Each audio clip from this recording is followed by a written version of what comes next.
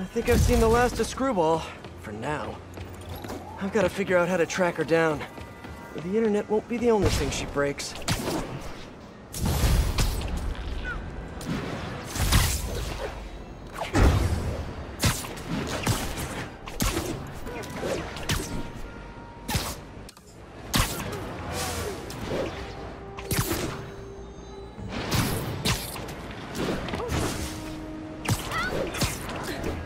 Oh.